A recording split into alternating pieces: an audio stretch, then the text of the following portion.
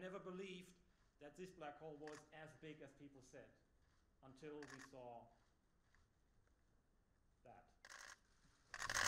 This is the nucleus of the galaxy M87, and this is the first ever image of a black hole.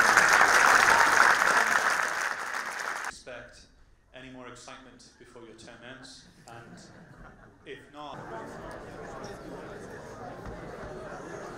Ces découvertes, c'est un moment spécial parce que c'est une chose qui était prévue par la théorie, mais qui, euh, du point de vue expérimental, était très improbable qu'on puisse jamais arriver à le faire.